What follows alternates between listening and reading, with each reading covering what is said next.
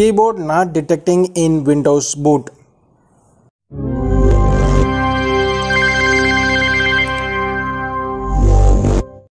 There are 8 to 9 possible solutions that can work hoping for the best let's hop right in. Restart the system and try forcefully restart the system and look for numlock and caps lock light is getting on or not during pre-boot. Change or swap the USB keyboard and mouse plug-in port. Even when you restart the computer, if keyboard doesn't work then change the USB plug-in port. Unplug the keyboard, forcefully restart the system. When system restarts and screen gets on, then plug in your keyboard and try. If you have a spare or separate keyboard, then plug in and check if spare keyboard works. If your system is desktop, then try with PS2 keyboard. If your system is desktop, then use USB to PS2 keyboard converter. Reset CMOS battery and try. Check if USB plug-in port is shaking or damaged. If your system is desktop, then open and look into your CPU for any loose connection or damage.